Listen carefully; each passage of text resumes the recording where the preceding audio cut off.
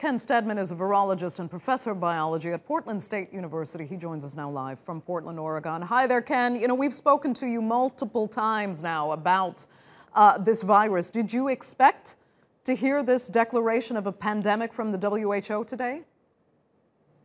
Yes, actually, I did expect to hear this. Um, I think it's been quite a long time in coming.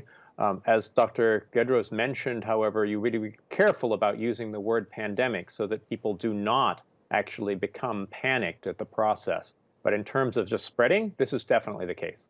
Okay, so I mean, uh, in medical terms, what does it really mean to declare a pandemic?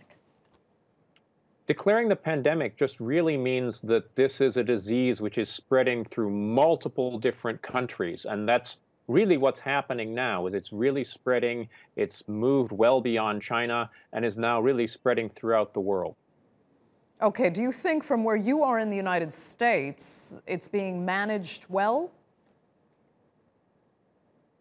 That's a really good question and i think a lot of it has to do with diagnosis one of the big questions and we still have lots of questions. That's one of the things with these diseases.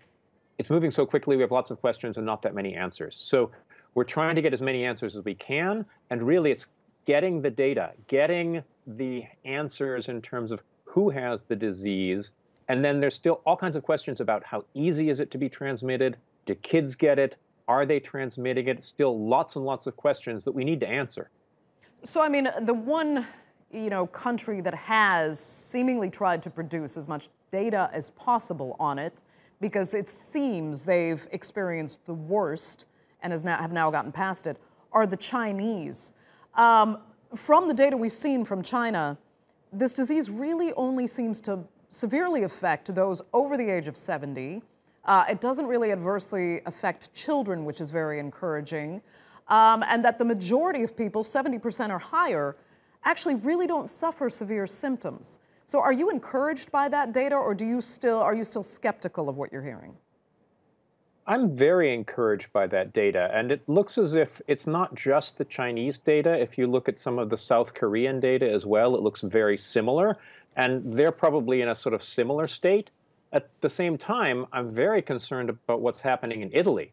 And that seems to be a very more extreme case, many more people getting sick and people getting very sick indeed. In terms of your question about older people getting more sick than younger people, that seems to be very true. Exactly why that is is something that scientists are trying to figure out. Okay, Ken Stedman, we'll leave it there. Thank you so much for that. We appreciate it.